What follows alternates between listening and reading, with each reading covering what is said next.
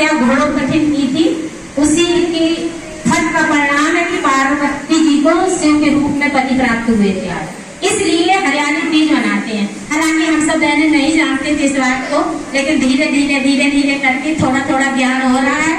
वही सब ज्ञान हम सब बहने आपस में एक दूसरे को बांटे और